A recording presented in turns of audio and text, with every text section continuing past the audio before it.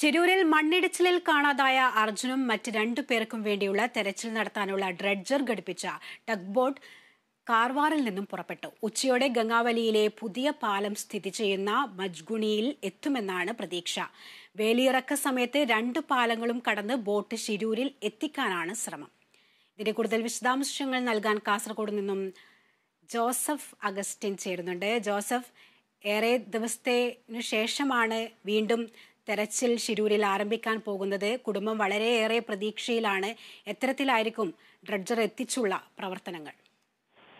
ശ്രുതി ഏറ്റവും പ്രധാനപ്പെട്ടത് ഈ മഞ്ചുകുടി എന്ന സ്ഥലത്തേക്ക് അതായത് ഈ ശിരൂർ പുഴയും ഈ കടലും ചേരുന്ന ഭാഗത്തേക്ക് ഈ ഡ്രഡ്ജർ എത്തി എന്നുള്ളതാണ് ഏറ്റവും പ്രധാനപ്പെട്ടത്. പത്ത് മണിയോടുകൂടി ഈ ഡ്രഡ്ജർ എത്തിക്കുമെന്നായിരുന്നു നേരത്തെ കമ്പനി അധികൃതർ പറഞ്ഞിരുന്നത്. കൃത്യസമയം പാലിച്ചുകൊണ്ട് തന്നെ ഈ ഡ്രഡ്ജർ ഇപ്പോൾ ഇവിടെ എത്തിയിരിക്കുന്നു. ഗംഗാവാലി പുഴയുടെ ഈ അഴിമുഖത്ത് ഇപ്പോൾ ഈ ഡ്രഡ്ജർ വഹിച്ചുകൊണ്ടുള്ള ആ പൈലറ്റ് വാഹനവും അതുപോലെ ഡ്രഡ്ജറും അതിനെ സമീപിക്കുന്ന മറ്റൊരു ഒരു കപ്പലും ഒരു ഒരു വാഹന ഒരു ടഗ് ബോട്ടും കൂടെ ഇതിനെ അനുഗമിച്ച് വരുന്നുണ്ട് എന്നുള്ളതാണ് ഏറ്റവും പ്രധാനപ്പെട്ടത്.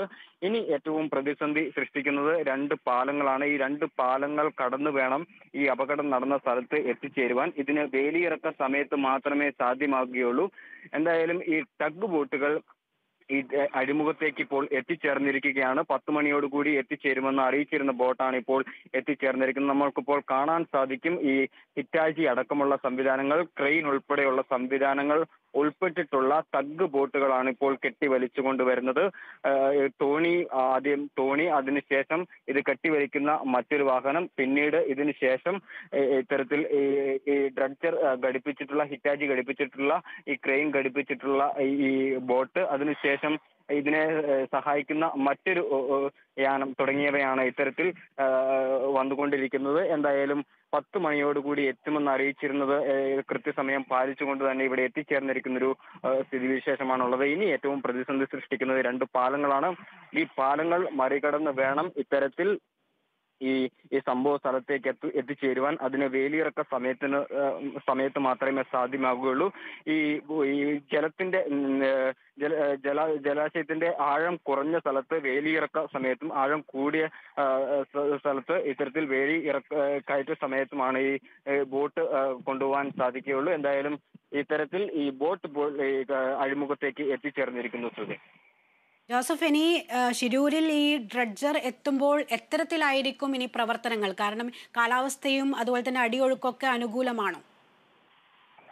നിലവിൽ കാലാവസ്ഥ അനുകൂലമായി തുടരുന്ന ഒരു സാഹചര്യമാണ് നിലവിലുള്ളത്. മറ്റ് സാങ്കേതിക തടസ്സങ്ങളൊന്നും നിലവിൽ ഇല്ല.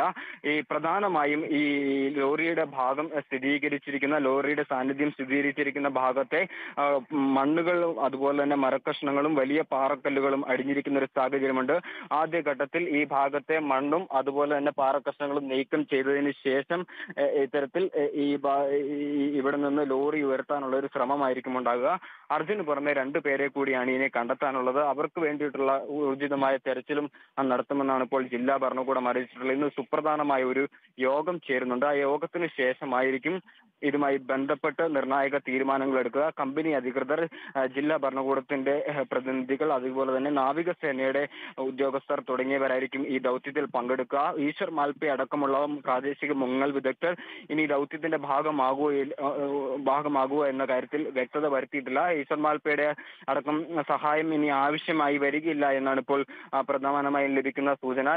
നിലവിലുള്ള വെല്ലുവിളി ഈ ഈ ടഗ് ബോട്ട് ആ പ്രദേശത്ത് ഉറപ്പിക്കുന്നത് ഒരു പ്രയാസകരമായ ജോലിയായിരിക്കും. അതിന് ഒരു ദിവസമെങ്കിലും വേണ്ടി വരുമെന്നാണ് ഇപ്പോൾ പ്രതീക്ഷിക്കുന്നത്. എന്തായാലും ഈ ഡ്രഡ്ജർ അടങ്ങുന്ന വലിയ ബോട്ട് ഇവിടെ എത്തിച്ചേർന്നിരിക്കുന്നു എന്നുള്ളതാണ് ഏറ്റവും പ്രധാനപ്പെട്ടത് ശ്രുതി എന്തായാലും വ്യക്തമാണ്. ഷിരൂരിൽ കാണാതായ അർജുന് വേണ്ടിയുള്ള തെരച്ചിൽ ഡ്രഡ്ജർ ഘടിപ്പിച്ചുള്ള ടങ് ബോട്ട് ഇപ്പോൾ അഴിമുഖത്തേക്ക് എത്തുന്നു എന്നുള്ള വിവരം തന്നെയാണ് ലഭിക്കുന്നത്.